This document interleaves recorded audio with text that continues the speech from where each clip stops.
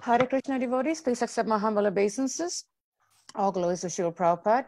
We welcome devotees again to our morning Bhagavatam class. Uh, this morning, it's extra special because one is it's the morning of New Year's Eve, and two is we are we are starting embarking the, the New Year's with New Year's Eve with uh, by hearing from His Holiness Candramauli Swami. So Mars, thank you so much for joining us. We are ever excited to hear from you on this wonderful day. So it's all yours, Maharaj. Okay. Umagyantimirandasya Gyanajana Salakaya Chaksu Unmilitam Yena Tasmai Shri Gurave Namaha Nama Om Vishnu Padaya Krishna Prestaya Bhutale Shrimati Bhakti Vedanta Swami Iti Namane Namaste Saraswati Devi Gauravani Pacharini Nirvisesa Sunyavadi Pastyatya Desantarine Panchakalpa Tarubhischa Kripa Sindhu Bevacha Patitanam Bhavanebhyo Vaishnavebhyo Namaho Namaha. Jai Sri Krishna Chaitanya Prabhu Nityananda Sri Advaita Gadadhar Srivasadi Gaur Bhaktavinda Hare Krishna Hare Krishna Krishna Krishna Hare Hare Hare Rama Hare Rama Rama Rama Hare Hare Vanchakalpa Tarubhischa Kripa Sindhu Devacha Patitanam Pavanebhyo Vaishnavebhyo Namaho Namaha. So here we have the verse from the Srimad Bhagavatam, first canto, third chapter, number 32. So I'll read the Sanskrit and the translation, and maybe someone from the audience, maybe Mataji Anasuya, can read the purport. Okay. Om Namo Bhagavate Vasudevaya. Om Namo Bhagavate Vasudevaya. Om Namo Bhagavate Vasudevaya. Ataparam Yaravyaktam Ayudhyam Guna Brimhitam Adrishta Shruta Vastuvat Sajivo Yat Purnam Bhavaha. Translation let me see here. Okay. Beyond this gross conception of form is another subtle conception of form, of which is without formal shape and is unseen, unheard, and unmanifest. The living being has his form beyond this subtlety, otherwise, he could not have repeated birth and death. I can read the purport, Maharaj. Okay. Purport by His Divine Grace A.C. Bhaktivedanta Swami Shri Prabhupada Ki Jai.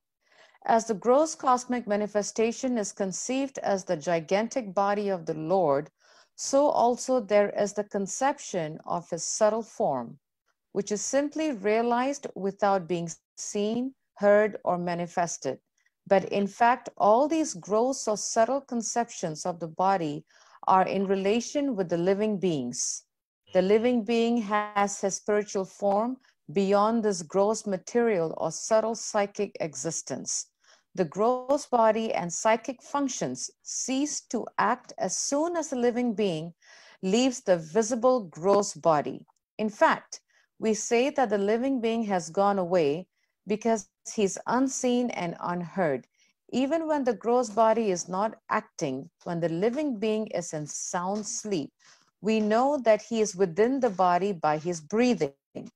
So the living beings passing away from the body does not mean that there is no existence of the living soul. It is there.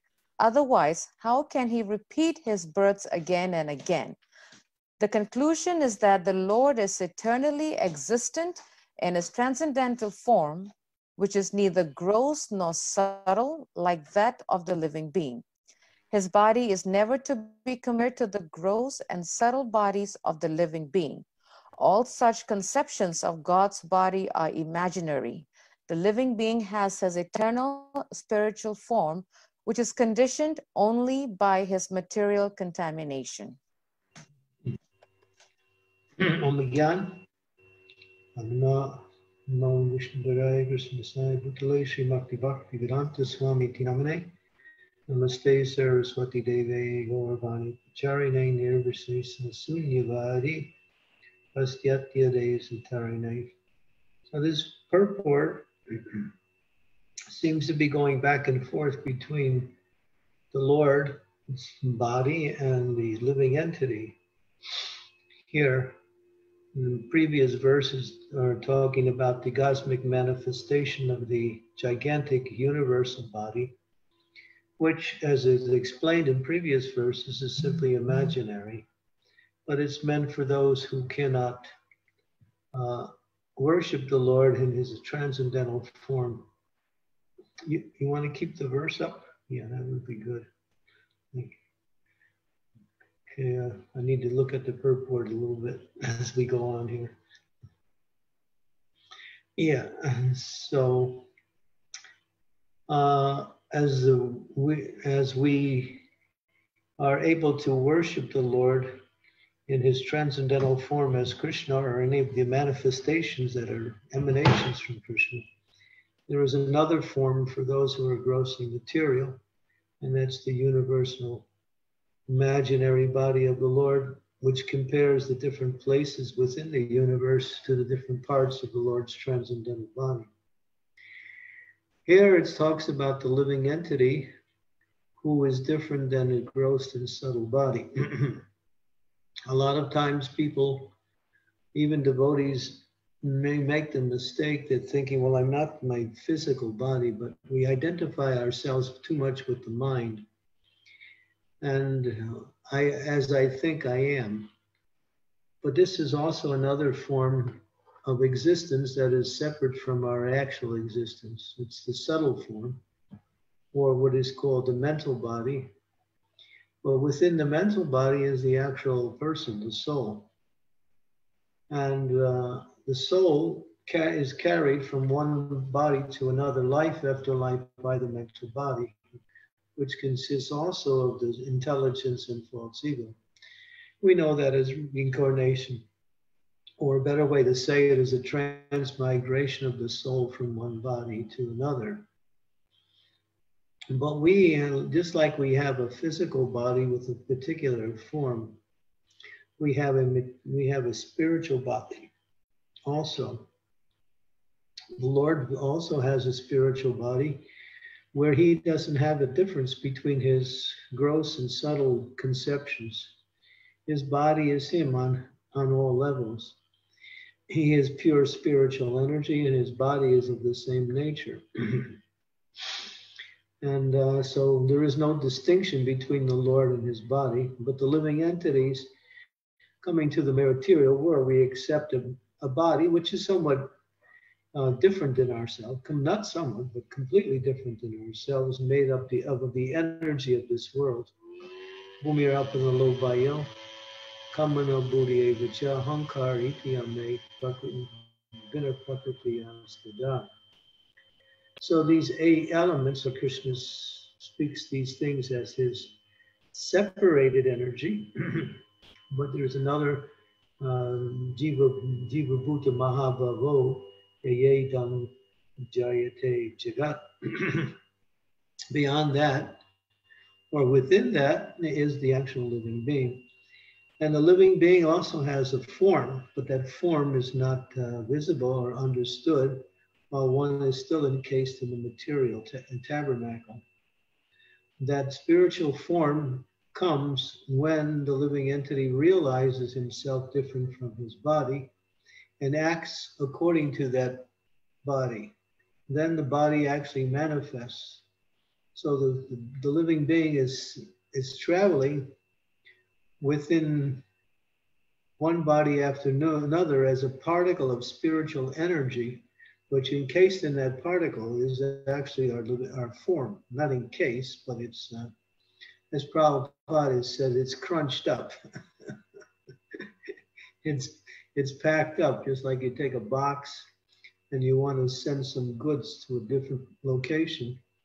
You might pack it all up with with uh, all kinds of uh, you know what they call it. I don't know stuff for insulation and packing. You put all kinds of paper around it, and if it's very fragile, you mark on the box, and you also pack it really tight. And there may not be much uh, room for the for the actual item, and most of it's packing. So we're packed up in this material body, in our size of our existence, as it says. In this body is one ten thousand the tip of a hair. So no one can measure that. It's immeasurable. It's so small. But that is the actual statement given by the Upanishads that the soul is that that tiny. But when it actually reaches realization outside of the body and attains to the spiritual realm, it assumes its natural body, which is one of the different bodies that are there within the spiritual existence. These are either as some feature of material uh, spiritual existence, such as trees or rocks or plants or water animals, or it could be in the form of a um, a, uh, a cowherd boy. It could be in the form of a parent to Krishna or one on the conjugal level. Different different types of bodies that are innate within our existence, but packed up by our material existence, our material. Uh, when we say prison, it's more like a prison. Being in this body is analogous to be living inside of a prison. You know, prison means restrictions, prison means punishment. So this body is always punishing the soul in different ways and causing the soul great distress because it goes through various types of sufferings. And the living entity, the soul within the body, has a tendency to identify with that. So although the soul is not suffering, the soul thinks it's suffering. Just like when you're in a dream, mm, you may experience some kind of suffering in the dream, but it's not really happening. But while you're in the dream, you're experiencing that the pain of that uh, that experience. So in the same way, in this body, we are experiencing this pain of material existence although we're not actually experiencing it, we think we are. And to get out of that consciousness means to understand and realize, not only understand, but realize the difference between you and the body that you inhabit. And so, yeah, being in this situation is like, and there's no freedom. Uh, what is our freedom? And of course, we not only are not we are not free within the body, but material energy is also pushing the living entity in different ways. And then the social pressure, political pressure, economic pressures, so many things restrict the living entity's natural freedom of movement, freedom of expression, freedom of creativity, freedom of love, freedom of happiness, all these things, freedom of knowledge all these things are, are wound down into the smallest tiny uh, element within this material body. So the idea is to get out of this material body and go back to the spiritual world. But um, we have to continue to transmigrate from one body to another, life after life. Mitche Maya Davase, Kachu Bese, Kachu Habubu Bubai, Jeev Krishna Das, hey, Vishwas, Kolida Adukanai. Bhakti Vinod Thakur sings that just like a uh, piece of straw on, a, on an ocean gets thrown from one place to another by the movement of the ocean waves, Similarly, by the movement of the three moles of material energy, this, the living entity gets thrown from one material existence to another. Karanam Guna Sango shows Sarasa Joni Janmasu, sometimes in a good situation in the higher planets, where one feels material happiness in the body of a demigod or demigoddess, or in the material energy as such as this middle planet where there is a mixture of happiness and distress, but mostly it's characterized by lamentation and illusion. And then, of course, the lower species of life, the animals, they're characterized by misery and a lot of fear. So this is the what we say, the fate of the living entity in the material world. And we can't get out of this cycle unless we actually develop pure love for Krishna. So, developing pure love for Krishna, there's one thing that helps us to achieve that, and that is having that as a goal in life. That has to be our goal. If we don't make it a goal, it won't happen automatically we might say, well, whatever happens, then I'll accept. No, you have to actually live according to your desire. Our desire is to go back home, back to Godhead, and experience eternal love with Krishna in so many different uh, ways. And but that has to be what is called a vow or a focus. I want to develop pure love for God, and I want to go back home, back to Godhead. And then once you start focusing like that, then you start understanding how to achieve that. Without that focus, the achievement may also be somewhat sporadic or less, less focused on the actual goal.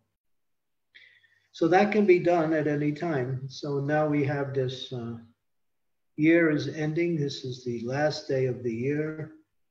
For some people, they think this year was the worst ever, and others think it was the greatest ever. Some people have a mixture of both. That's the way the world is. According to your situation, you have your experience according to what's happening on the external level. For the devotees, it was kind of a mixture of both. It caused some limitations and it caused radical changes in the way we lived and the way we interacted with others.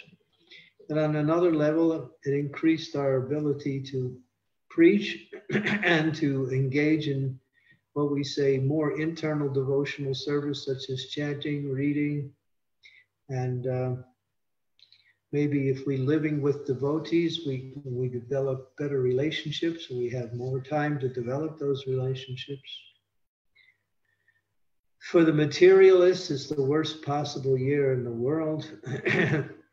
not only they are restricted, but their fear has risen to such a height that they are more or less imprisoned by their own fear and can hardly function and are waiting for some change. And in the meantime, either they're depressed or they're trying to counteract their depression by more forms of uh, sense gratification whatever they were doing for sense gratification, they might think, well, I just need to increase it now because there's no other alternative in this miserable situation. and so this is the way of material life. For something, for somebody, it's wonderful when something happens. And sometimes the same thing happens and is miserable. I had a personal experience of that in a very big way when I was in Denver, Colorado in the year 2006, I believe it was. I was it was the winter of 2006 and it was exactly the same time. It was right around Christmas, right after Christmas. And I had been scheduled to leave Denver and go to a place I had never been before for preaching. And uh, I was waiting for the time to leave, but then a huge snowstorm came and just buried the city, really buried it, where all flights were stopped in and out, all schools and many businesses were closed, and uh, consequently, millions of dollars were lost in equity and in, you know, just keeping things going. But on another level, there was a uh, there was a happiness in the in the slopes because Denver and all around Colorado they have a lot of ski slopes. So the skiers were thinking, "Wow, this is really good. We're getting some real nice slow packing down the, the ski slopes. This will make our skiing even more wonderful." So those who owned the ski slopes, they were also dancing in ecstasy. Customers were coming. So you can see how material energy works. For some people, it's the same thing is miserable, and for another person, the same thing is a source of happiness. and so devotees can reflect on this particular year and see now we have we can move into the next year well, which way are we going to direct our life are we going to go on in the same way or are we going to somehow or other make certain uh, determined vows to fulfill certain desires or are we going to actually try to fulfill our real desire and that is to develop pure love of God. So if we do that, then gradually, and what we say by the mercy of the Lord, because when the Lord sees the, the, desire of the devotee and the activities that are connected with that desire, he helps. And his helping is a big part of our success. In fact, it, it's the final principle of success or the complete principle of success. So devotees should make this year that I'm going to use my time to hear and chant the glories of the Lord more. I'm going to chant more and better rounds. I'm going to uh, take more opportunities to try to give Krishna consciousness to others if you make these three focuses and you arrange your life in such a way as to do that, you'll see that whatever problems you have are no longer there anymore. Because Krishna will help you to focus on these three things to hear and chant more, the glories of the Lord, to increase the quality of and quantity of our chanting, and uh, to preach and be an instrument for Lord Chaitanya's mercy, for Prabhupada's desire to spread Krishna consciousness everywhere. So, um, for a devotee, there's an old saying um, that a very good businessman, when the prices go up, he makes a profit. And when the prices go down, he makes a profit. He knows, because he knows business so well, he knows how to adjust according to the change in prices. So that's a devotee. The devotee can use any and every situation as an opportunity to increase their, their love for Krishna and their activities in devotional service. Okay, so I'll stop here. Hare Krishna. Thank you, Maharaj. Um, such a wonderful message about preparing our minds and how we looked at 2020 and how, how we should look in 2021. If there are any questions or comments, uh, reflections and realizations, we and uh, we request devotees to please uh, do unmute yourself and uh, ask your question. I'm looking at the chat, I mean, not the chat, I um, the participant list. That's what I meant to say. Um, if you don't have your hand raised, that's fine. You can just jump in and you know unmute yourself and ask questions. Uh, very nice topic as we prepare for the next year and based on the verse.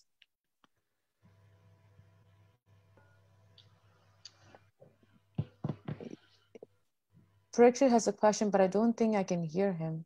Hare Krishna. Oh, there you are.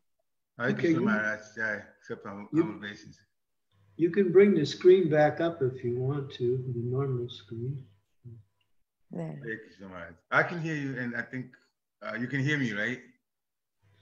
Uh, I can see you too. Okay, that's, your, that's good. Yeah, yeah, I had I had difficulty getting the audio, I mean the video to work. Um, the three aims that you said that you would uh, embark on this 2021, hearing and chanting, um, the quality and also increasing the quantity of chanting, preaching and spreading Krishna consciousness everywhere. Wonderful. I, I, would definitely love to do the same thing too. So I'm glad you um, you brought it up. Um, so that's my comment. Um, increasing the quality of chanting. Can you speak a little more about that, the quality? Because our minds tend to roam so much. Yeah, it, well, Prabhupada does emphasize the importance of hearing as the feature for keeping the mind in the back and keeping the sound foremost. Krishna says in the Bhagavad Gita, whenever and wherever the mind goes due to its unsteady and flickering nature, bring it back under the control of the self. So japa is actually a struggle to continue to hear. But if you approach the holy name in the right way, that struggle is mitigated where there is a little effort and a lot of results. And that probably we have to approach the holy name in the mood of of begging for the holy name and in, in the mood of um, uh, yeah, begging the mercy of the holy name and being being desirous to take shelter of Krishna completely through the sound of his holy name. And praying for the Lord's to come. Um, there's different ways we can, what we say, access uh, different techniques which will help to bring about greater amount of attention. But all these techniques are subservient or secondary to our the mood of devotion that we bring with us when we begin our chanting. That mood is important. Uh, one of the moods that we should think is that japa is something I look forward to. Excuse me.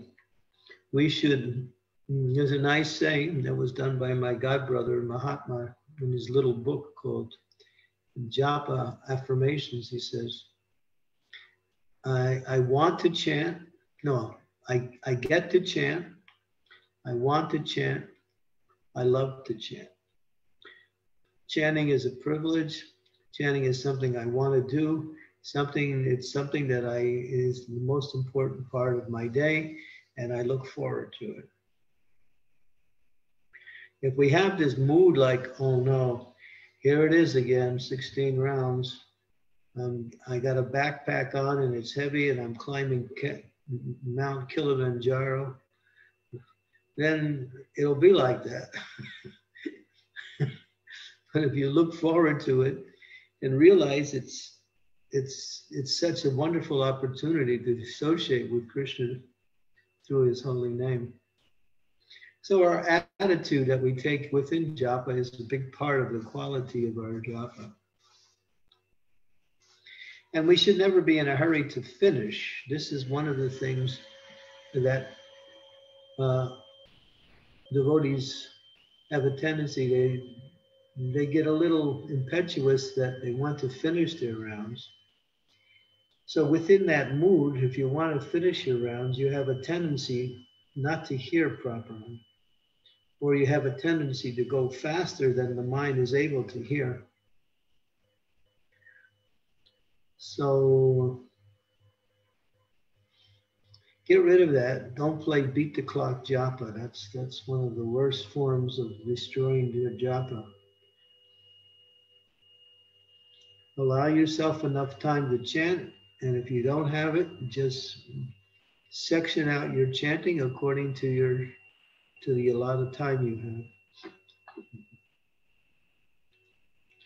Don't rush.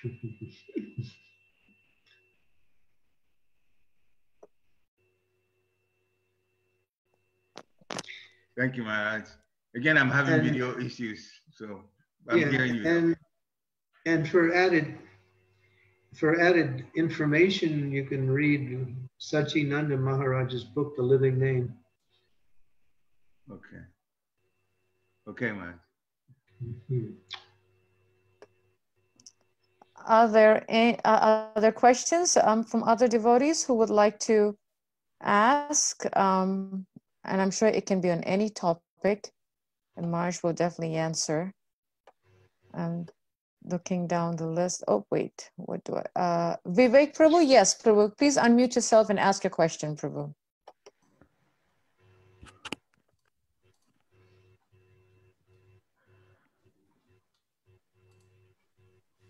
Hare Krishna Guru Maharaj, uh, please accept my humble obeisances. All glories to Srila Prabhupada, all glories to you, Maharaj. Uh, Maharaj, I have two questions. Uh, one, like for us, uh, New Year is actually starts from tomorrow, or like actually it starts from uh, Gaur Purnima. Uh, for us, for the Gaudiya Vaishnavas, it's Gaur Purnima. For people in India, traditionally, it's Vasant Panchami. Um, for the secular world outside, it's tomorrow. Okay. For some people, there's another day, there's one more day somewhere in there.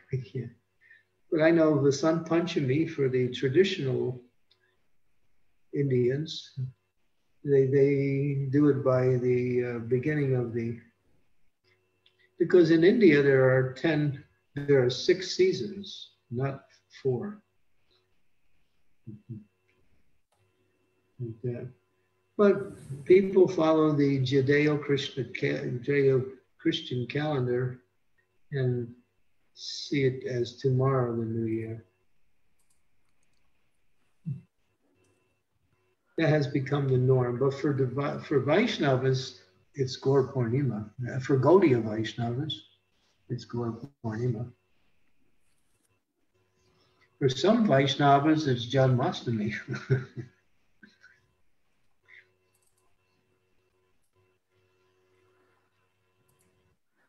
Thank you, Guru Maharaj. Maharaj, my uh, other question is, uh, normally, actually, I try to teach my mind that should not ask for any material things from Krishna. Yeah, as you were discussing yesterday as well as last week, and today also, like how to teach mind. But when actually odd situation comes, then uh, like I share my challenge with Krishna, like as he's our eternal father, mother. So whatever good or bad coming, just try to share with him.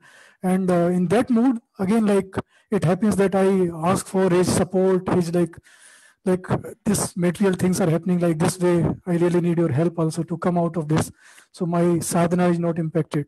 Is that okay, Maharaj, in that way, or should not be think at all like like at least aspire for not like thinking that mode Yeah, you you can't approach the holy name and especially the Lord in any sense for anything material.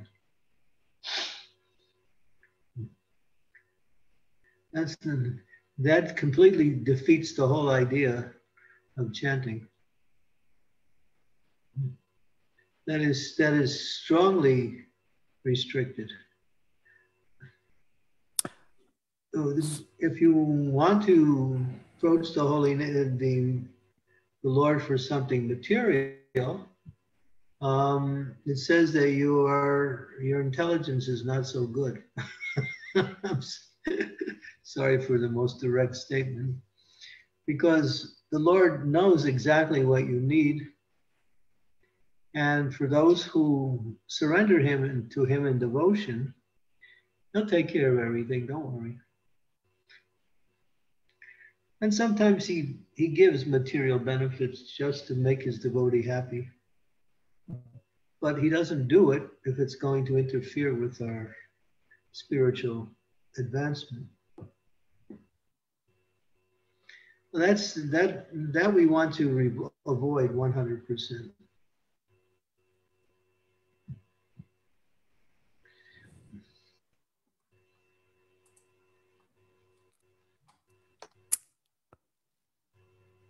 Did thank you, Guru Maharaj. I'm sorry. Thank, yeah, thank you, Guru Maharaj. Thank you very much. Yeah, it okay. definitely helps.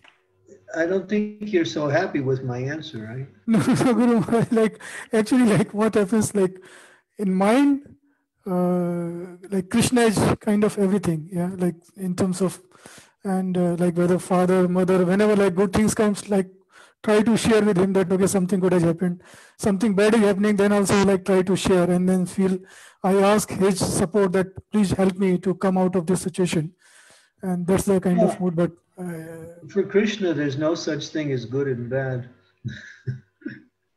Materially, he sees everything in one in the same way. He does. We make these distinctions between good and bad. These and Lord Chaitanya has spoken this whole thing. What is it? What is that? Um, Badra Badra Sakale Saman A Vanda A Badra. Oh, this is this is a very powerful verse. Maybe we can find it in the. Uh, it's in the Chaitanya Charitamrita. Uh, it's called Badra Abhadra. That's how it starts. If you can, I'm not sure where it is in the Chaitanya Charitamrita. I think it's in somewhere in Antya Lila. Badra Abhadra. Maharaj, I'll have Vrinda check into it right now, Maharaj. Okay. Uh, Sakale is another word. A Manda, A Bala, A Brahma, something like that. A is spelled E I, like that. If you hear that verse, then you'll understand everything. it's Lord Chaitanya speaking. This, he says, some people say this is good, and other people say this is bad. Well, let's see. Badra Jana Bala, A Manda, In the material world, conceptions and good or bad are all mental speculation. Therefore, saying this is good and this is bad is all a mistake. It's because, for as we were saying, some people say this is good and some people say this is bad, the same thing. For the flights that were blocked, it was bad, and for the snow the snow slopes, it was good. There's no absolute bad and no absolute good in the material world. It's all relative to, to your consciousness. So if you're going to pray to the Lord in some way, you can say, my dear Lord, I'm struggling with this. Can you help me to understand how I can overcome this so I can become more of your devotee? Yes, Guru Maharaj, thank you very much. Actually, like that's normally my like prayer to Krishna that please help me so I can overcome. I know like this is my karma, this is like your lila. Like I'm just going through uh, my karma, but help me so I can overcome. So thank you, Guru Maharaj. I think it has cl- clarified completely now in my mind. So thank you very, very much. Hare Krishna Maharaj. Yeah, um, uh, Anasuya, I'll be right back. I got to do something here. I got this offering I have to take off the altar. That's fine, Maharaj. We can wait. Yeah, be quick. Mataji, may I add something to that? Yes, yes, please. Okay, Hare Krishna, all devotees, please accept my humble obeisances. This is Manisha Mataji from Atlanta, Georgia. And uh, for the last question that was being discussed, I have one small example, if you don't mind, is that um, when uh, uh, someone like, uh, for example, if you take how like the gopis and Radharani, they love Krishna, right, at that mm-hmm. level so in, in, this material world, if you can think in your lives or you heard some stories or something, like uh, when someone has the deepest uh, level of love for someone, so say there is a lady, right? Or say there's a man, okay? And he's in love with a woman, right? And he's so deeply and madly in love with that woman that no matter what that woman does, if she is nice to him or if she is cruel to him or says some harsh words to him, he's still just so madly in love with her that he loves everything that she does, like uh, whether it's good or bad. In the same way, like a mother loves a child, right? So if the child is naughty, and uh, you know hits the mother like a very small baby like uh, slaps the mother on the face or something the mother does not mind and maybe even a mother might say oh my child is so cute you know like uh, slapping me with his small little hands So in the same way, when you come to that uh, level of love for Krishna, then you start thinking, oh, Krishna, I love you, I love you, I love you. Like, no matter what you do with me, you treat me harshly or you treat me kindly, whether you give me good things or bad things, I love you, I love you, I love you. So when you come to that level of love, then no matter what your lover does to you, you will love it. Whether your lover, your lover, you know, uh, gives you attention, whether your lover ignores you, whether your lover, you know, gives you what you want, whether, you know, uh, he doesn't give you what you want. So just try to think of that next time you're dealing with something harsh.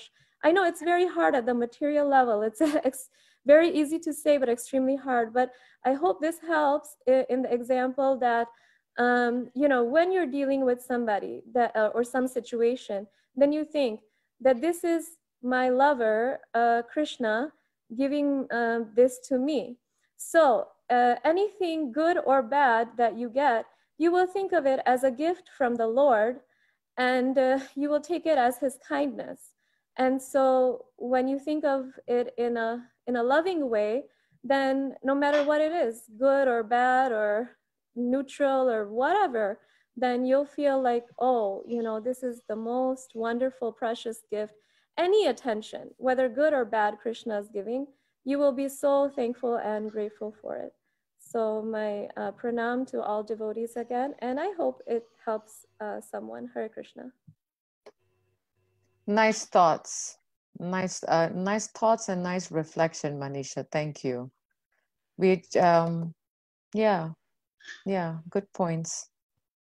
Just reflecting more on your points that you shared.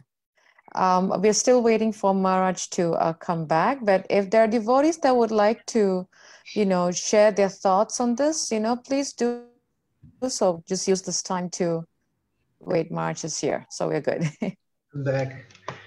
Okay, so yeah, that was wise words. Thank you very much. It reminds me of the verse in Shikshastika Malishyava Pinaratam Punastulam.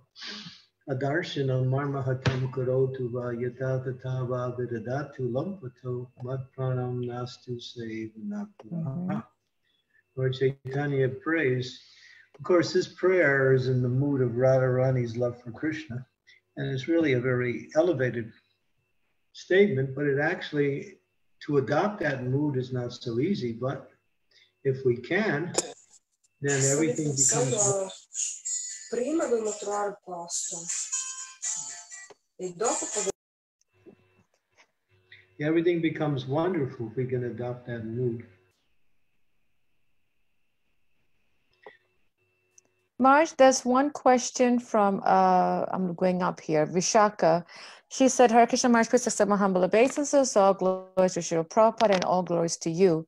What is the difference between Gyan and Vigyan? I have read instances where Vigyan is almost the same definition as Gyan.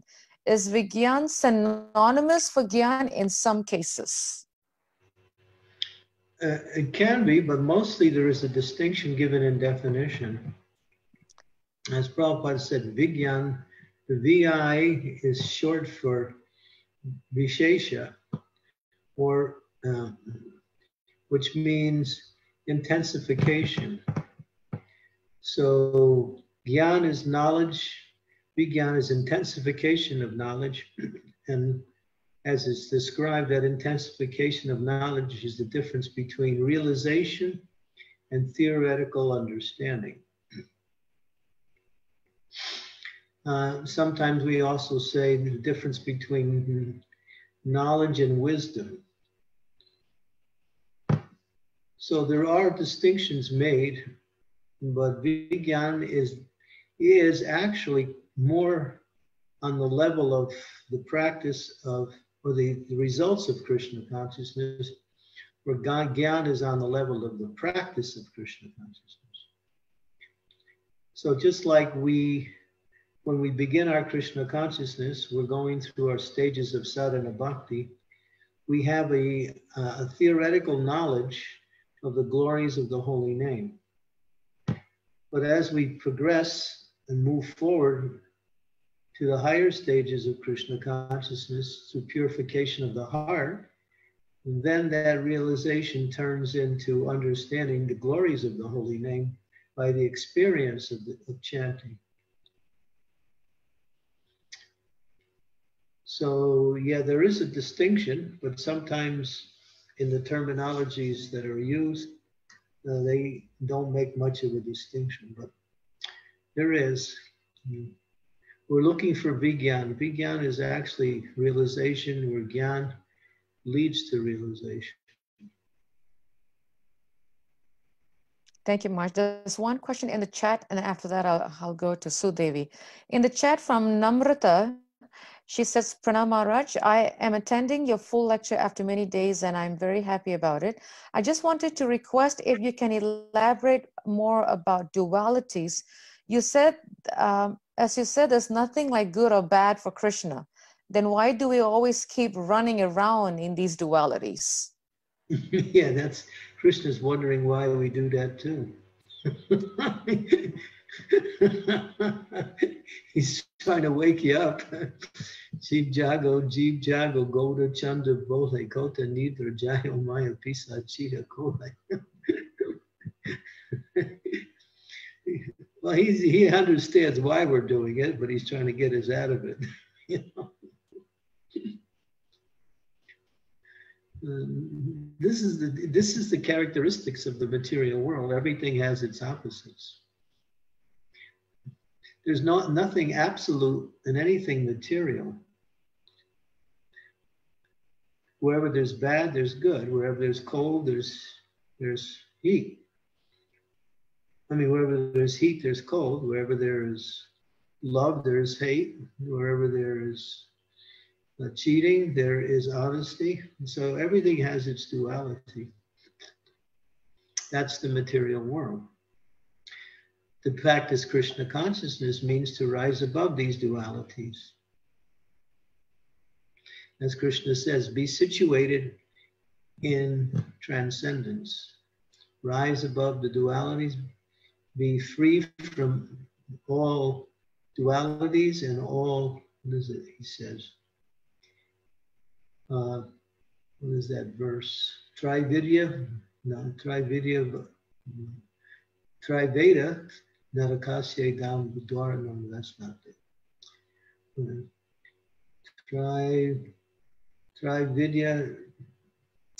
Uh, it's in the Bhagavad Gita, Trividya.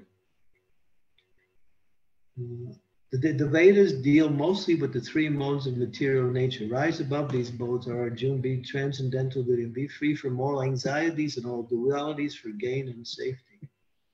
Trivedya, Vidi, very, very kaste. Try, try something. it's, uh, I can give you the verse. It's 244 in the, in the Bhagavad Gita. I will have uh, Vrinda pull it up for you, Maharaj. 244 in Bhagavad Gita.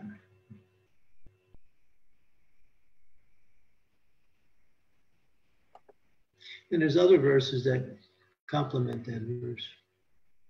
Yeah, Sri, Sri Devi just posted in the uh, group chat that's um, 11, 20, 27 to 28 and Srimad Bhagavatam and Srimad Bhagavatam 2, 3, 10.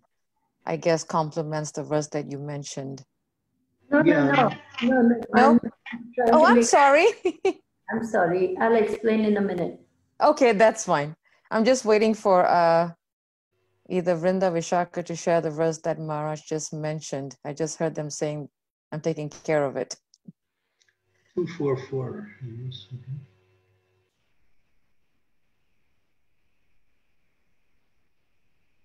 It's Krishna's instructions to Arjuna.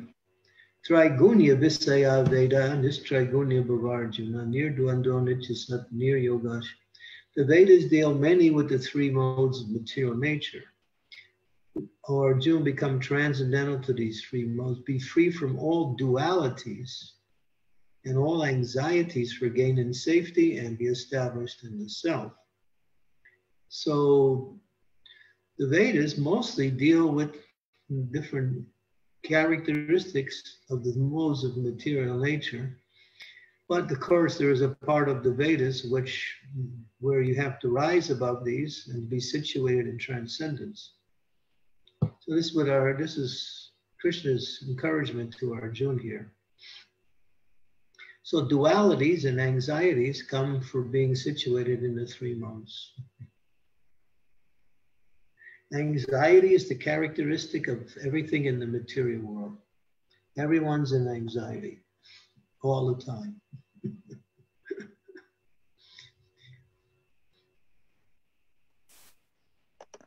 Marge, there is um, a Sudevi. I will ask her because she had her hand, hand raised, and then I'll go. I'll come to you, Sri Devi. Sudevi Mataji, please go ahead. Uh, Hare Krishna Maharaj, thank you. Very nice class.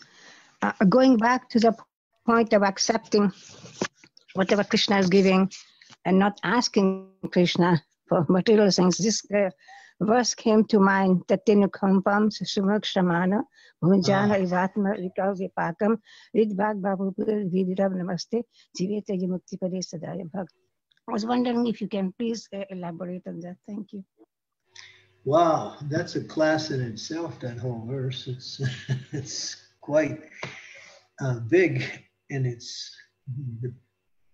Well, the uh, Prabhupada emphasize that we, we learned this verse along with chanting the holy names of the Lord. And it means that the devotee is practicing Krishna consciousness, but runs into some suffering. And that suffering is not so much coming from the external energy, but it's coming from Krishna himself directly to purify that devotee from some material attachment or to cause that devotee to become more surrendered in their devotional service. So when the devotee recognizes that this is coming from Krishna, he prays to the Lord, Thank you very much. I actually deserve worse than this, but because you are so merciful and so kind, you're giving me only a small portion of what I actually deserve. Therefore, he prays within the heart and he thanks the Lord. And then Mukti Padesha Dayabak means that um, the kingdom of God, and Prabhupada uses the analogy that if a child has very rich parents and um, the, the child is a good child, then the whatever the riches are there when the parents depart it goes to the children. They don't have to do anything. All they have to do is stay in the family. So Prabhupada said, all we have to do is pray like this and stay in Krishna consciousness. And then the kingdom of God becomes automatically achieved. So, yeah, it's very hard for devotees to see the different difficulties that Krishna throws at you. He's doing it to correct you, he's doing to purify you. So in the Bhagavad Gita, it says that the Lord is the permitter and overseer. Anumantam, uh, anu, Anumantam, and also what is the other word? Um, permitter and overseer. He allows things to happen to us so we can learn and move forward and become free from our wrong conceptions and our attachments. As Prabhupada said, we shouldn't be so concerned about the dualities that come in this material world if we just stay fixed in our Krishna consciousness we see sometimes people work very hard to bring happiness and push away the suffering. And we all have that tendency, some of us more than others, but because it's natural to want to be free from suffering, it's natural to want to feel happy or feel some peace and some pleasure. But if we stay fixed in our devotional service, then Krishna will guide you in such a way that you will be free from the effects of these changes of the dualities of the material. And of course, If Krishna sends something directly, then the devotee is actually grateful and therefore thanks the devotee uh, and thanks the Lord and wants to reciprocate by doing more devotional service. So we have to practice. I would suggest those of you who are interested read that purport. Purport is very nicely explains the different dynamics of the verse. But it's a very important verse is spoken by Lord Brahma himself.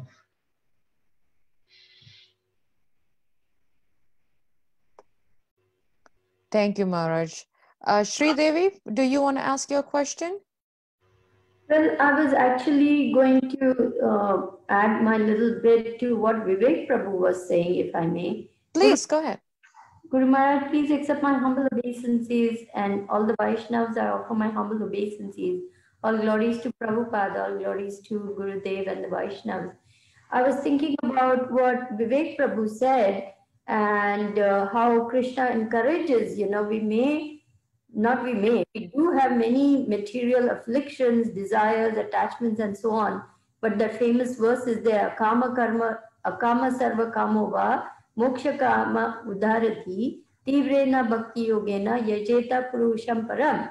Even if one is full of material desires, even if one has no material desires, or one wants liberation, with all one's uh, strength, one must simply worship the Lord.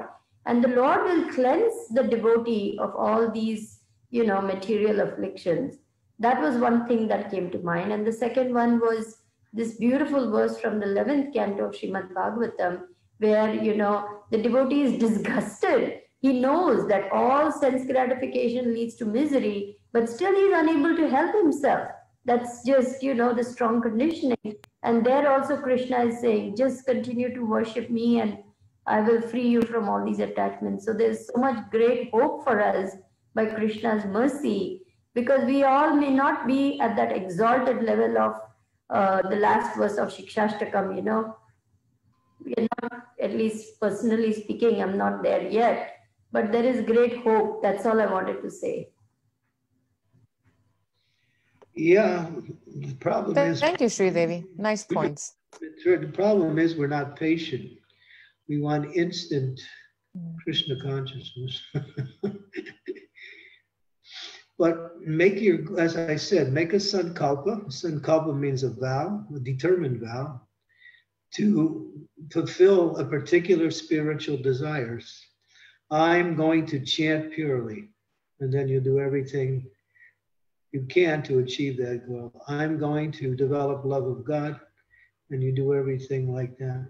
I'm going to read every day Srimad Bhagavatam and learn many of the points that I read.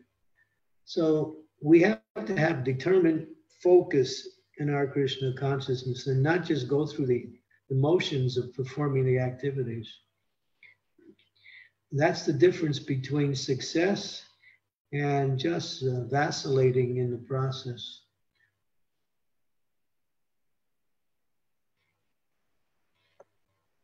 Thank you. Go ahead, Marge. I'm sorry. Yeah, that's it.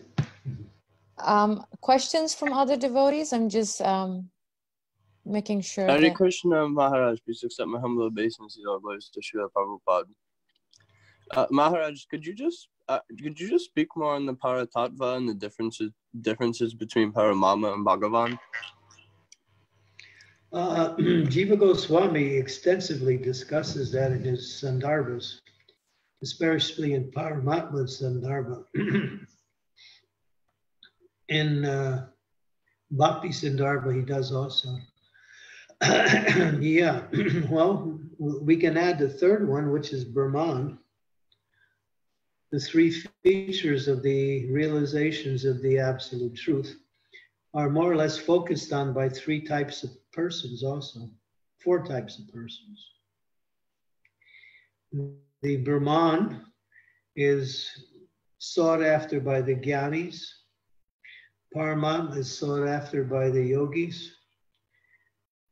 And the Bhagavan realization is sought after by the devotees or the Vaishnavas.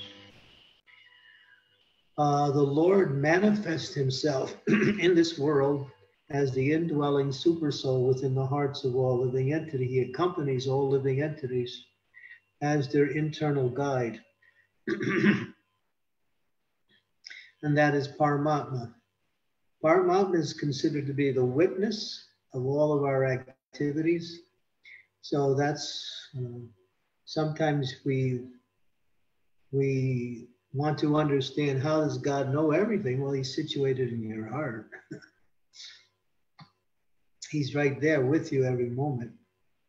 And He's just watching. He's also giving guidance, but the guidance that He gives as Paramatma is understood clearly from the external, his external representative, the spiritual master. So the spiritual master is labeled as the external manifestation of the super soul or Paramatma, where he is saying exactly what Paramatma is saying within the heart. When one makes progress in devotional service and comes to the spontaneous platform of devotional service, Raganuga Bhakti, then one can hear Paramatma directly and take guidance from Paramatma directly within the heart. So that's that's more of an advanced stage. so the Lord is there. He's fully uh, merciful by agreeing to accompany the living entity, even in the most abominable species of life, even in a worm inside of stool, the Lord is there in the heart of that worm Of course, the Lord never touches the material energy, so he's not uh, affected by any material condition. But at the same time, he agrees to accompany that soul wherever the soul is.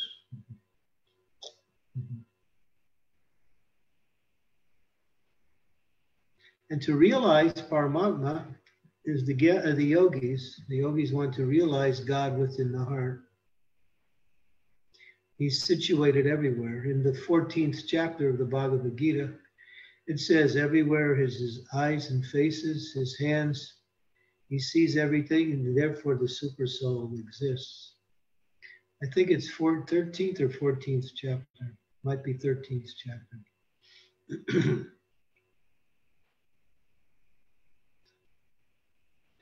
Thank so, you, Maharaj. Yeah. Go ahead, Maharaj. I'm sorry.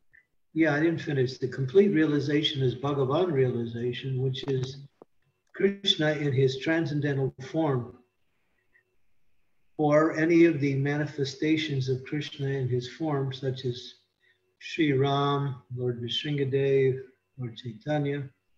When we realize the Lord in his transcendental form as par, as as a person in devotional service, that is the goal of the devotees. So the devotees serve the Lord in that, in the mood to realize the Lord in that form.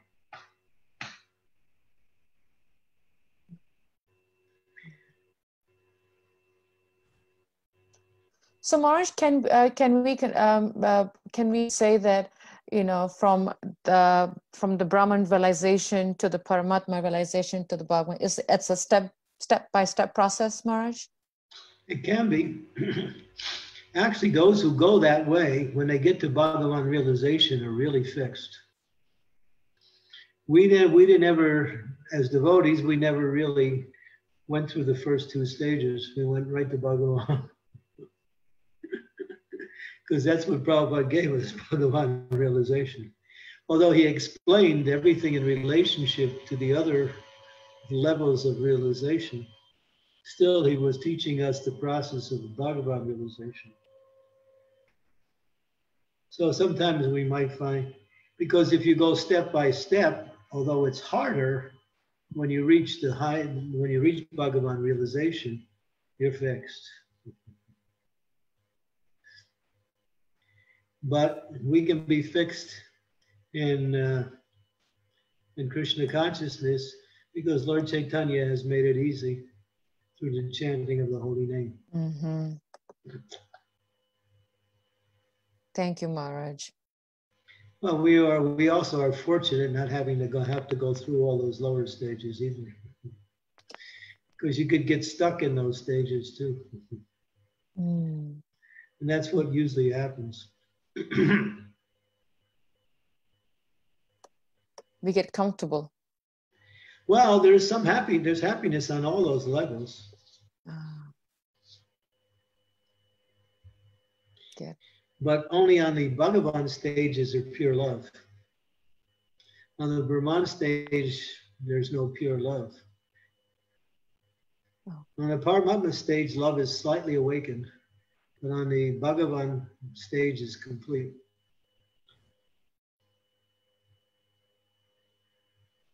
Thank you, Maharaj. Are there any other questions or comments, uh, re uh, reflections, realizations? Maharaj, I would like to ask a question, Maharaj, on the verse that we were initially speaking about, and um, you know, talking about the, the entity having having an eternal spiritual form, but while they're in the material world, there's so many bombardment and uh, you know and material contamination. And as we are entering into the year, you know, we've had rough times. Then going to 2021. It's sometimes, Maharaj, it's it's it's difficult want to accept change you know um, they know that something has you know something has to change they expect the external to change for them as opposed to the internal so as devotees Maharaj how can we really um, uh, introspectively uh, be willing to want to change for the better in terms of krishna consciousness well you, you answered it your question had the answer right in it. introspective. by, by becoming introspective and seeing where we are and where we need to go to, then we can also, also chalk out the process of getting there. We have to take inventory. Where are we? I think Bhakti Tirtha Swami was very good at using that terminology, taking inventory to see where you are and see what you need to do to move forward. What are some of my, you know, blocks? What are some of my attachments? What are some of the things that are that are also good, but that could be expanded into something even more?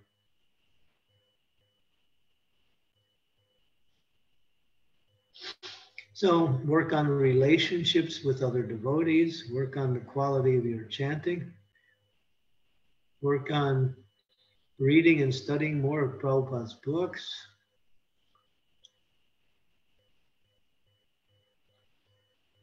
And take a, take a little inventory of your day and see what the things is that you don't really need to do. Get rid of those things. I mean, some of us, sometimes we have this idiosyncrasies. We like these little things in our life that we just like to do. They have no meaning. they just are there maybe because we like them, that's all.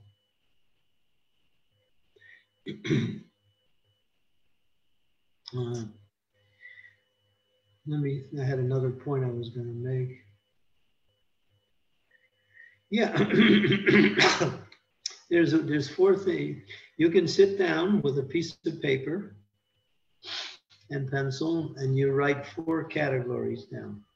So you ready? Yes, Maharaj. Okay, you the first category is essential. Essential. Second category is important. Important. Important. Third category is not, not essential, non-essential, not essential. And the last category is not important. So put all your activities in one of those four categories. Ah. Thank you, Maharaj. it's good homework for us today. Thank you, Maharaj. I was reading and I'm sorry, Maharaj, please go ahead. the last category, don't fill it up too much because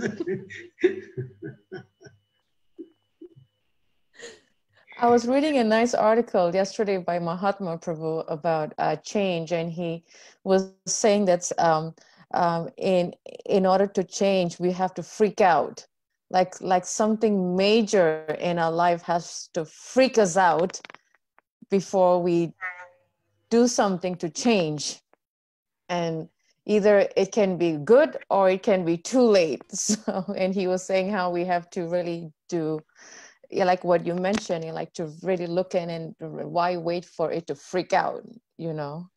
yeah, that's that's that's the default method. I don't know how good that would be in some cases.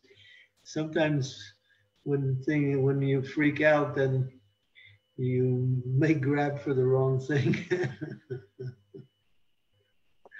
I don't know. I mean, what he's saying has some value in the sense that well, we're so stubborn mm-hmm. that, it, that it takes a little bit of an explosion before we change. Yes, Maharaj, that's exactly what he was saying. Uh, you know, that he said that we always have to be forced, and that's not necessary. That's what he was actually trying to say. Why wait for the explosion? Yeah. Yeah. It'll come if you keep going the way you're going. not you, I mean, in general, I'm saying. I understand, Maharaj. It happens to me too, yes. Yes. Are there any other questions or comments from devotees? Um, any topics? You know, this is such a nice um, uh, sangha that we're having here. Um, just want to make sure that I, I don't miss anyone from any other comments or questions, uh, realizations. Yes, Parikshit has a question. Um, Maharaj, can you, uh, this is not a question, but uh, speak a little more on the need to prioritize the spiritual over the material? The need to prioritize it. Sometimes the material is a necessary thing, but we always get the sense that the spiritual is always important, so it should come first. At least I think that way. So, well, practically, you want a practical answer to that, right? That would help. Well, you have to have time within your day for both. So therefore, then organizing, scheduling it. So you you can make your spiritual life around your material needs, or you can make your material needs around your spiritual life. Depends on which way you're going to go. so we put one of the two for so people have this tendency to think, and this is a good question you brought up, good point, that uh, the spiritual can be adjusted, but the material I can't adjust. That that has to happen.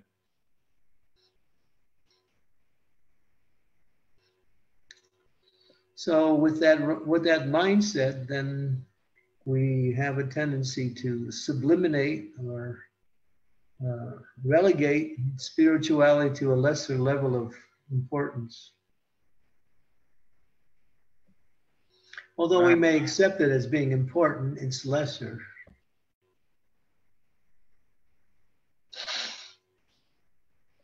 But, but to get over that is just to schedule both. And the beginning of the day and the end of the day should end with something spiritual. The beginning of the day should be sadhana, the end of the day should be sadhana.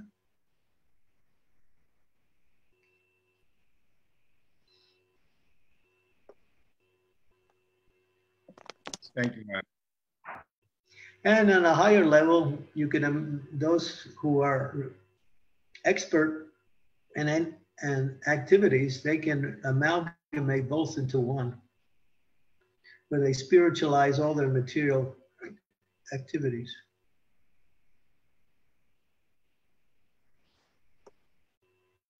That is high level Maharaj. We're doing that to some degree. Mm. Sudevi has a question. Sudevi, go ahead. Uh, Guru Maharaj, on this question that Parikshit Prabhu raises about balancing the material and spiritual, uh, there are many people in our family who are non-devotees And when we are trying to step up our spiritual activities, they implore us, please be balanced, please don't go overboard. You're becoming so fanatical, you're so dogmatic, you're going crazy, you're this, you're that, and you know, why can't you be balanced like other people? And so, you know, I'm just wondering if you could help us uh, to understand how to balance things in such a way that we are not becoming fanatical. Yeah, we are fanatical. We're fanatical for Krishna.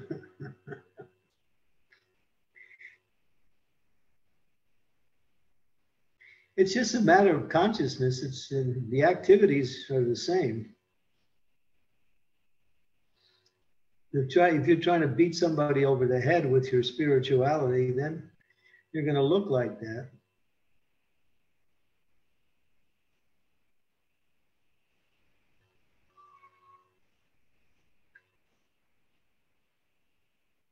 Just schedule your life in such a way that you can uh, organize your responsibilities, but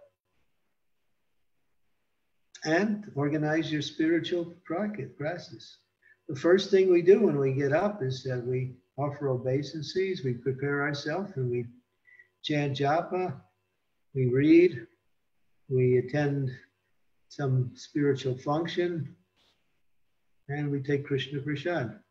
And then the day begins. So after breakfast, we can go on with our material responsibilities. And try to do that in the right consciousness as an offering to Krishna.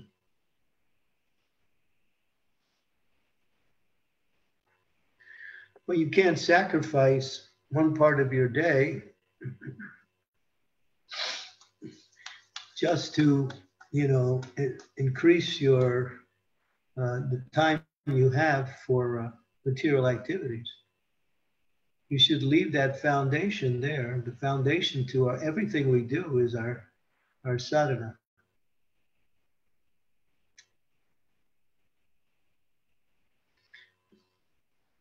So yeah, that's why Krishna says in the Bhagavad Gita that we we should regulate our life. Life should be regulated. Or we could strive for regulation. But I can tell you an easy thing. I was just reading some of the notes that I had written in my diary. This is the notes that you transcribed for me. I've been going through those transcriptions and doing the adjustments. And it was just the, the one you did for the year 2014. and it says that, you know, we should be, it says regulation. We should be, we should be striving for regulation. And I wrote down after striving for regulation for many years, I'm still striving for regulation. But then again, I added, but I do have one regulation. Try to remember Krishna amongst all the activities we perform and be regulated in trying to remember Krishna always. And then you're regulated. Because I was traveling, and traveling means no regulation. Traveling means you're, you go by the situation that confronts you and you have to adjust all the time. so trying to find regulation in that was impossible. But excuse me, but uh, trying to remember Krishna always made everything wonderful, made it all easier and more natural. As soon as you forget Krishna, everything is just a mess. Yes, Guru Maharaj. Thank you. Thank you so much for reminding us. Thank you very much. As soon as we forget Krishna, we're subjected to our crazy mind. Maharaj, there's a question um, from Facebook from Rohini where she asks, um, Hare Krishna Maharaj, in India, the Brahmin caste oppresses the other caste In the West, there is no caste system, but we still differentiate between devotees and non devotees. Is this still the same separating mentality? Uh, there is, there has to be that differentiation for the sake of association, for the sake of, uh, uh, yeah, as it's mentioned, we were we gave a class just a couple days ago. One should relate to people on different levels according to their situation. So differentiation is not a form of exploitation; it's a form of way to communicate with different levels of people. Lord Chaitanya wouldn't speak, uh, you know, intimate pastimes with devotees in general, but with his confidential devotees, he did. So he discriminated. And for the people in general, he never mentioned Krishna's pastimes. He always talked about the philosophy. So we have to make a differentiation based on re- uh, developing a relationship. That's there. If it's done in order to gain something materially, then that's exploitive. Like the example Rohini gives where the Brahmins are oppressing the other, other classes. But it's not about oppression, it's about relationships. It's not about exploitation, it's about uh, developing proper communications.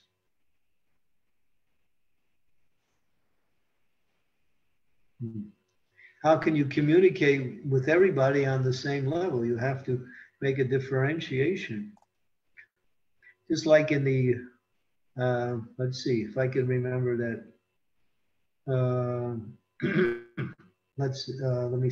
One, I think it's first canto, chapter 11, verse 22. I think that's the verse. I might be wrong. Want does uh, want to go for that one? 111, 22. I think.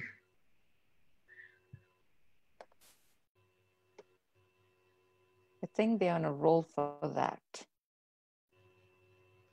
Uh, I hope that's the verse.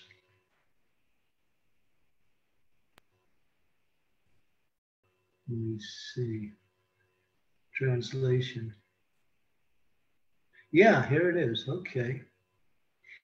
The Almighty Lord greeted everyone present by bowing his head, exchanging greetings, embracing, shaking hands, looking, smiling, give assurances and wording of benedictions, even to the lowest in rank. So here you'll see eight different ways that the Lord related to eight different classes of people. Some he offered obeisances, mm. some he mm. offered, he exchanged greetings, some he embraced, some he shook hands with, some he looked at and smiled, others he awarded benedictions. So the Lord also made distinctions between the different types of people when he came in contact with them. Again, the purport might also elaborate on that. Vishaka, can you go down to the purport? Keep going down. Keep going down. There we go.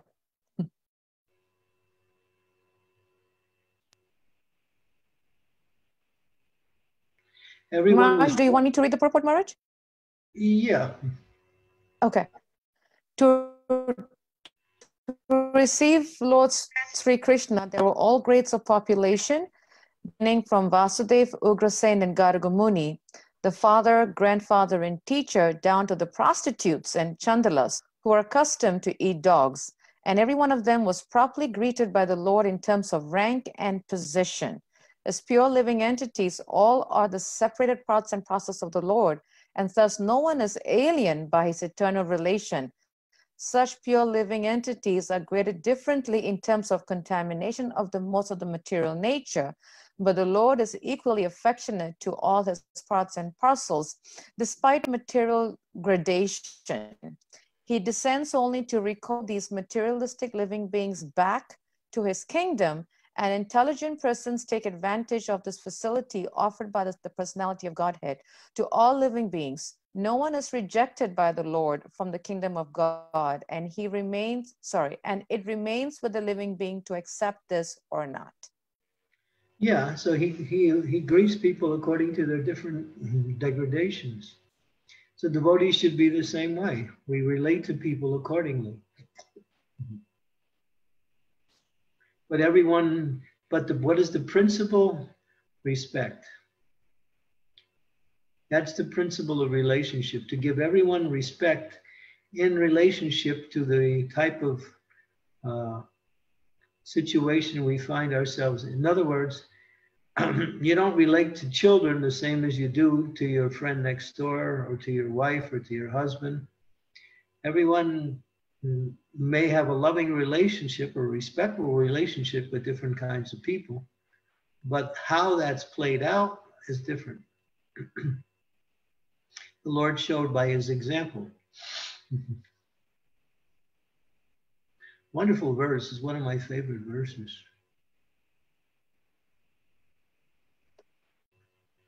Thank you, Maharaj. It's a very yeah, powerful verse. Yeah. a very nice question by Rohini too. Thank you for asking that question, Rohini. Really nice. Uh, I hope that answered her question. um, yeah, it came from Facebook, so I'm going to wait to see um, Vrinda when she checks her response on Facebook. But yeah, thank you, Maharaj.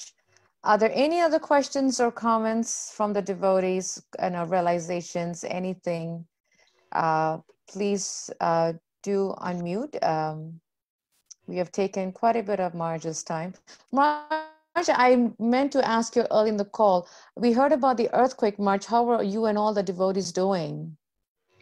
Um, I was in Slovenia okay. and uh, I felt the shaking here. A couple pictures fell, a couple vases fell. I'm 120 miles away from the from the heart of the earthquake. That earthquake was 6.4 on the Richter scale. It was big. Since then, I just got a message here.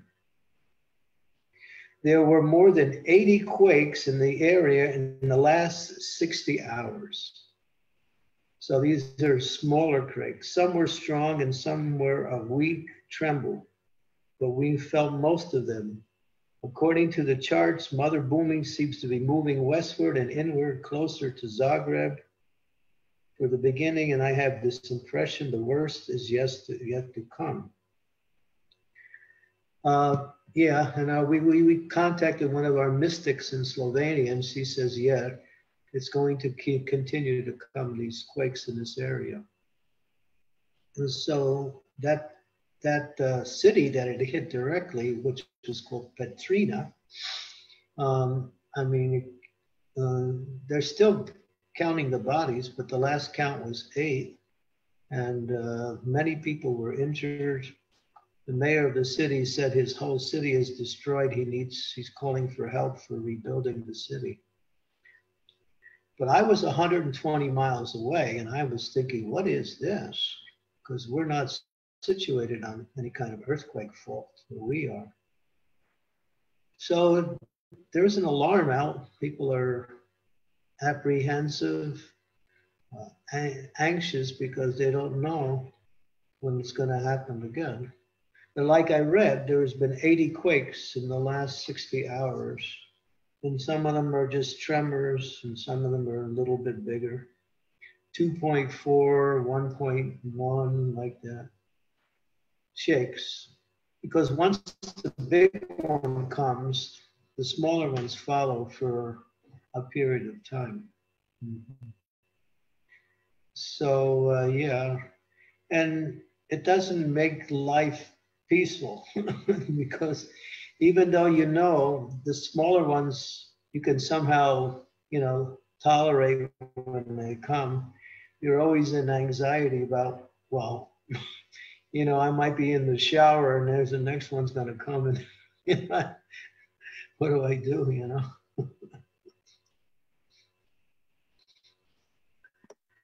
so yeah, there is. Yeah, that is some- anxiety. Wow.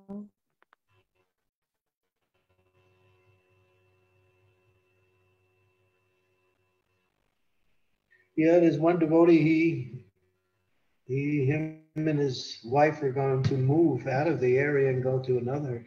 In fact, a lot of devotees are actually moving out of that area to go into other areas to live with other devotees. There's, there's a, there's, I know, at least I know two or three that are actually doing that.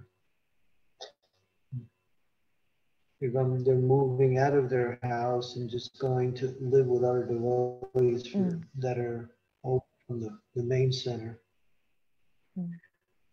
Mm.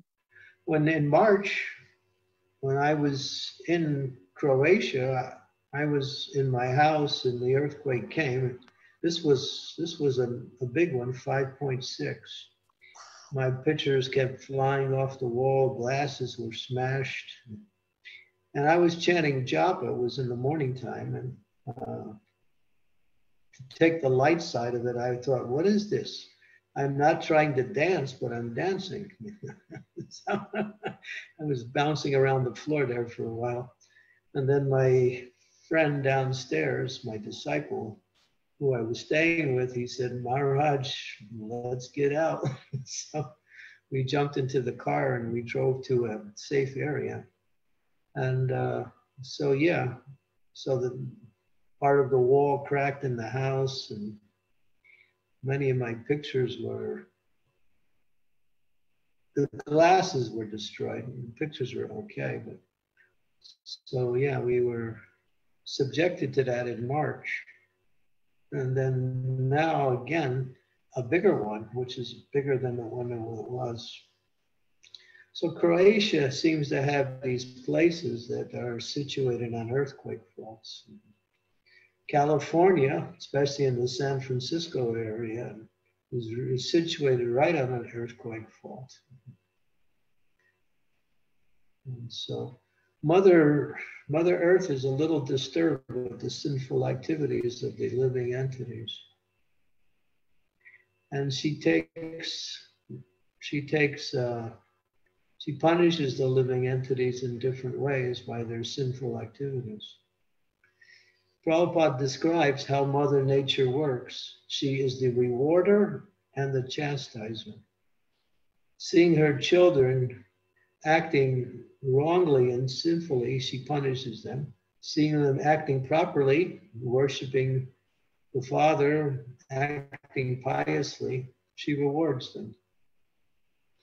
She's a supplier and she's the punisher. But under oh, she works under the control of the Lord, of course. But the Lord also gives her, you know, that feature to act according to how the sinful activities or the pious activities are being there. He's like a watchmaker who makes a watch and then sets the watch going, and then the watch works. But anytime he can change how the watch works. but that's how material energy works. So this is a whole different discussion, but this is how material energy works. So we shouldn't be surprised as long as people continue to, continue to commit sinful activities. And we're talking about heavy sinful activities, such as, you know, slaughterhouses, killing innocent animals, abortions, killing, killing unborn children. These kinds of sinful activities have tremendous material, uh, what we say, sufferings attached to them. And when it becomes full blown, then the whole area becomes affected by it. It's just like the example in the Chaitanya Charitamrita. I think maybe it's better in the Chaitanya Bhagavat when um,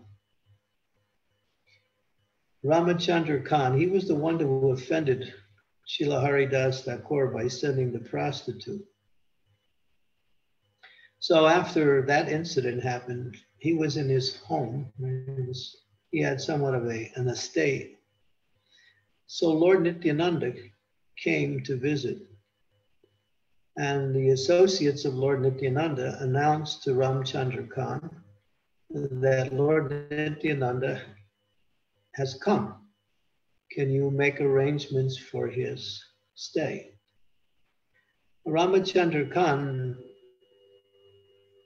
told the assistants of the Lord Nityananda, well, Lord Nityananda can stay in the in the cow barn. In other words, he didn't give him any residence. He just said you can stay in the barn. when Lord Nityananda heard what Ramachandra Khan said, he laughed. But his laughter was mixed with his anger. He la- there's about two or three incidents where the Lord laughed in anger. This is one of them. So when he did that, he just laughed and he took his disciples and they immediately left the place. Just after that, the leading political, the I guess he was the, the uh, came and he came to the place of Ramachandra Khan. He killed the cow there and then he he plundered all the uh, possessions of Ramachandra Khan and he destroyed the village all around it. So, because of his offense first to Haridas and then to, the, to Lord Nityananda, Ramachandra Khan got a heavy reaction. But because he was situated in a certain area, the people around him, they also suffered because of his sinful activities. So when sinful activities really become strong, everyone feels the effect, even if you're not directly involved. You may not suffer, but you'll be put into inconveniences, just like what's happening now. The devotees are inconvenienced by what's happening, but they don't suffer. So that's how sinful activities work in such a way as they span themselves out when I was traveling in India, I went to South, I went to one area in the South, and I was at the Adi Keshava temple. This is the temple where Lord Chaitanya came and he found the Brahma Samhita, the prayers. When he found them, he copied them and took them back to his devotees and said, These are the best of all prayers. And he showed them to his devotee. He was really happy to find them. So I was in that temple. We were there. We were also chanting every day the Brahma Samhita prayers along with the temple, you know, residents. And then I met one priest there. And he was telling me not too long ago, maybe about 10 years ago, one of the priests who was tending to the deity there, he starts stealing the deity's jewelry. And therefore, he was going on for some time. And then finally was found out that he had stolen it. And then he disappeared. He had to hide. And so he was living on, in this village right near the temple. That whole village became desolate. They lost all their all their crops. It was like in other words, everyone in the village had to suffer because of this one person who exploited his position by stealing jewelry from the deities. That's a heavy offense, stealing directly from the Lord. So it works like that, that sometimes others who are not directly involved in the situation may have to undergo some difficulty just because they're in that area.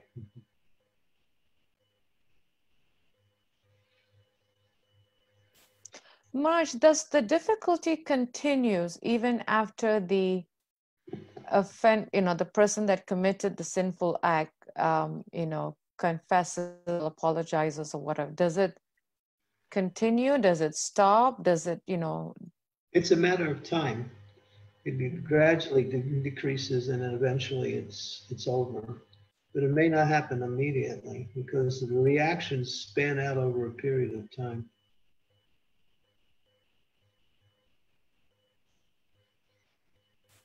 That's generally how, how material energy works. Mm-hmm. Just like, you know, I was in that house in March and, you know, I was inconvenienced. A lot of the things that I had got smashed and I had to get out of there and we had to. So we were inconvenienced. We lost some property and like that. We had nothing to do with the situation, but because we were in that area, we were victimized by the earthquake. Uh, mostly material turbulences are caused by uh, material by sinful activities such as droughts, famines, pestilence. Pestilence, this coronavirus is directly related to that. And if there anybody doubts that, all they have to do is go to Srimad Bhagavatam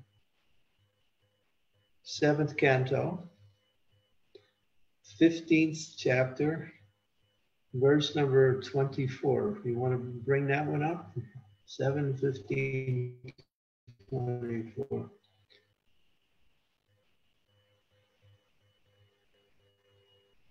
It's interesting verse because it helps us to understand what's happening now.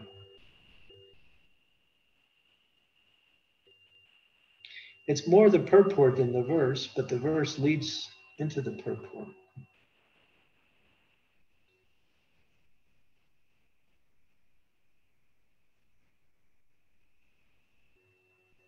I think the girls are trying to pull it up now, Maharaj.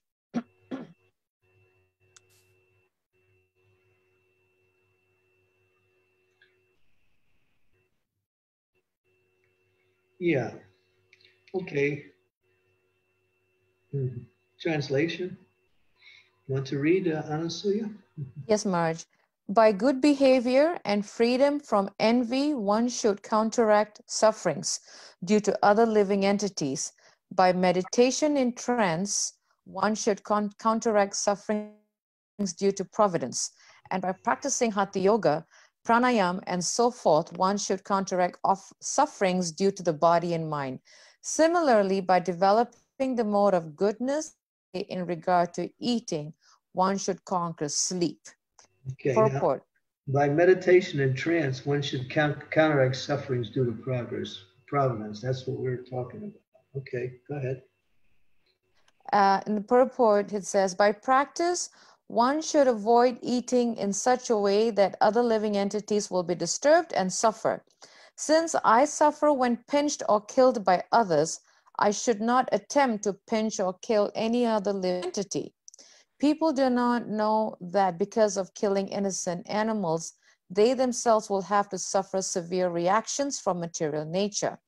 Any country where people indulge in unnecessary killing of animals will have to suffer from wars and pestilence imposed by material nature. Correct. It's right there. Shall, shall I continue, Marge, or should I stop there? Yeah. Okay, if you like, yeah. But that's okay. the, yeah, of course, there's another good point there. Comparing one's own suffering to the suffering of others, therefore, one should be kind to all living entities. One can avoid the sufferings inflicted by providence, and therefore, when suffering comes, one should fully absorb oneself in chanting the Hare Krishna mantra. One can avoid sufferings from the body and mind by practicing mystic hatha yoga. And so Prabhupada tells us what causes it, um, what is the reaction, and how to get out of it. Meditation, in, in, in other words, that meditation is, if we just continue to chant it, we will never be uh, affected by this uh, coronavirus. And I give you an example. Um, this happened just recently. Uh, one young man who is writing our devotees. He's in jail, he's an inmate. He's writing one devotee who contacted me and told me this story. In fact, it wasn't only a story, it was a letter written by the devotee. When he was in jail, he got coronavirus and he was suffering. And uh, the jailers, the administration, they did nothing. They wouldn't give him any medicine, they wouldn't give him anything. So, having some understanding of Krishna consciousness, he just absorbed himself in chanting. And after some time, he freed himself from the virus. Without any medicine, only by his own endeavor. Yeah, I have the letter. Letter written by him himself. Yeah. Because he had complete faith that by taking shelter of Krishna, Krishna would save me. And it happened. And he wasn't an even initiated devotee, he was just someone that we were writing to and preaching to. Yeah, it's amazing. You could you could read my lips much. I was saying amazing here. yeah, it is. You, you, it, when you say amazing, it's it's not amazing. You're saying amazing. Mm-hmm. Wow. When I read that, I was just thinking, wow, everybody should know this because it really shows faith in the Lord and faith in chanting of the Lord's holy name. He had both.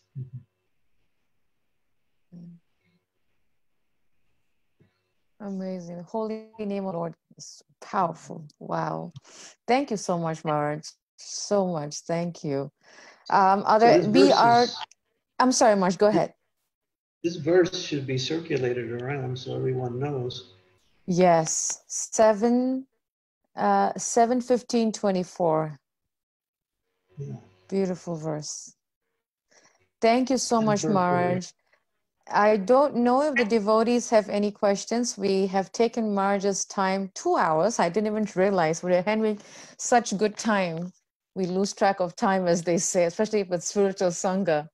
Um, just to give devotees any last minute point, I don't want to you know, ignore anyone, although I know that we've gone way past Maharaj's time. Um, are there any last minute comments or questions? Um, realizations, reflections. We are creeping up to the second hour. And if there isn't, wait, I just saw something popped up in the chat. What is it? We are in the spiritual world. Thank you, Sudevi. You're always boosting us with such nice positivity. I appreciate that. Thank you. and I see another chat coming up, Dipti. Yes, thank you, devotees, for joining us on this call. We thank Maharaj so much for really giving us so much time this morning. And we can really meditate on what Maharaj says as we enter into the new year and really ending with this such nice pastime the chanting of the holy name actually cured someone with covid it's just amazing and it, that, that is you know more and more um, uh, reflections for us to go deeper in our japa. And Marge, we wish you all the best as you are, you know, at that you are in Slovenia, and we pray that no more small quakes, big quakes, any quakes come out for you there. Because we really would like to see you next year, Marge, really, when this whole thing settles down. And we thank all the devotees. Vancha Kalpatarubhyascha, Kripa Sindhubhyevacha, Patitanam Pavanebhyo Vaishnavebhyo Namo Namaha. His Holiness Candramauli Swami Ki Jai. Srila Prabhupada Ki Jai. Thank you so much, devotees. And thank you again, Maharaj. And we wish you all a wonderful new year. And we look and we look forward to, to seeing you next year, just tomorrow. all glories to your service. Thank you, Maharaj.